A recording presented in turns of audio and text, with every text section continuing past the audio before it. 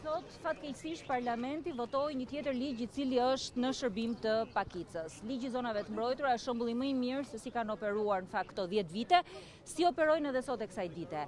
I morën i përdorën 12 deputetë të Partisë Socialiste që sollën një ligj i cili ishte në shkelje të plotë të direktivave të Bashkimit Evropian.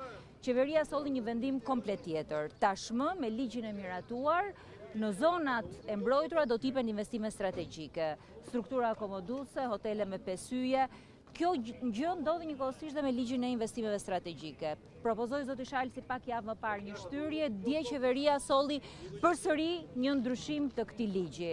Në qoftë se flasim për parlamentin e kapur, në qoftë se flasim për shkeljen e procedurës ligjore, për mosruajtjen e kontrollit dhe balancës në parlament, ky është shembulli më i mirë. Ju të gjithë e dini që unë kam kohë që përpiqem që çdo gjë dhe betejën tonë ta bëjmë në institucione. Po në këto kushte, kur edhe deputetët e Partisë Socialiste, vota e tyre nuk ka vlerë, sigurisht që vendos një pikëpyetje shumë të madhe edhe për funksionimin e parlamentit.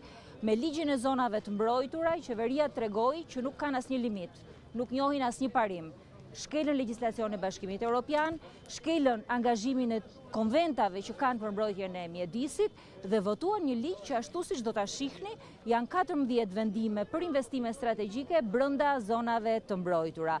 Zonja Dhori këtu ka një ka një shqetësim në mënyrë të veçantë për zonën e Divjakës, po e njëjta gjë po ndodh në në të gjithë Shqipërinë. Unë e kam ngritur këtë shqetësim edhe dje me ambasadorin e Bashkimit Evropian, e kam ngritur këtë me komisionerin, e kam ngritur në të gjitha strukturat.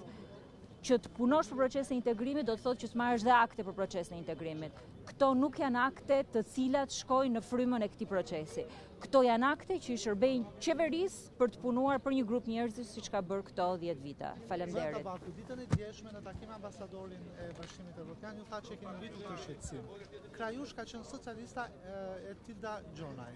E argumentoi zonja Gjonaj se pse qeveria është duke çuar para këtë projekt përpara ambasadorit të Bashkimit Evropian? Shiko, zonja Gjonaj duhet të flasë vetë sepse unë nuk të të them dot çfarë fjalësh thonë kolegët nëpër takime, po unë di të të them që ambasadori i Bashkimit Evropian i ka qëndruar fort procedurës ligjore të ndjekur, shkeljes së saj, shkeljes së legjislacionit të Bashkimit Evropian, por njëkohësisht faktit që Nuk bëhet fjalë vetëm për mjedisin. Ky është një ligj korruptiv. Ky është një ligj që tregon kapjen e shtetit dhe më vjen keq për të gjithë ato kolegë socialistë që ngritën kartonin dhe u bënë pjesë e kësaj afere. Në fakt ky është i 14, jo? sepse ka 14 ligje që tregojnë kapjen e shtetit të miratuar në parlament. Çfarë impakti do të ketë ndërkohë që do të nisin bisedimet për anëtarësimin e Shqipërisë, miratimi i këtij ligji me administratën e Brukselit? Unë di që qeverisë shqiptare është duke ju dërguar edhe një notë proteste, sepse kapitulli për mjedisin është një nga kapitujt më të vështirë. Qeveria shqiptare tashmë ka 10 vite në retorikën e u hapën, nuk u hapën negociatat, dhe kur vjen puna për të marrë akte, për hapjen e negociatave i shkel ato me dy këmbë. Ju të gjithë jeni koshientë sa kemi diskutuar ne për ligjin e amnistisë fiskale. Sa kemi diskutuar ne për uh, paketën uh, antishpifje te media, sa kemi diskutuar ne për pashaportat e arta. Janë të gjitha iniciativa që ka marrë kjo qeveri. Me këtë ligj shkoi akoma dhe më tej. Ky ligj mos e shikoni të izoluar, mos e shikoni lidhje vetëm me mjedisin. Është shumë problematik dhe për mjedisin. Po shikojeni kryekëput si korruptiv. Nga do ta marrin notën e protestës nga Brukseli? Uh, sigurisht nga Brukseli.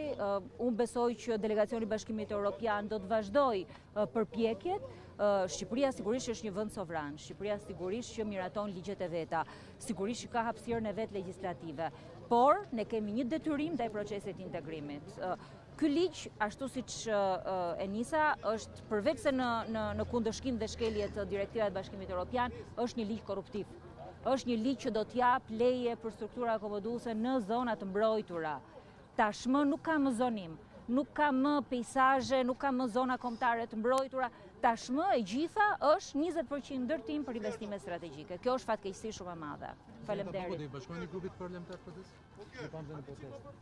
Unë nuk besoj që kam pasur ndonjëherë ndonjë qëndrim ndryshe opozitar. Kam qenë në protestë edhe në korrikun e vitit 2022 ku askush tjetër nuk ka qenë. Dhe unë besoj që ti e di që përsa i përket opozitarizmit, Me modestinë time them që nuk i lë asgjë mangut. Mbledhjet Kudo. që zhvillohen në seli do u bashkoheni? Unë uh, kam 16 kam 16 kam që 16 vjeç jam në Partinë Demokratike dhe s'kam asnjë vend tjetër përveç Partisë Demokratike.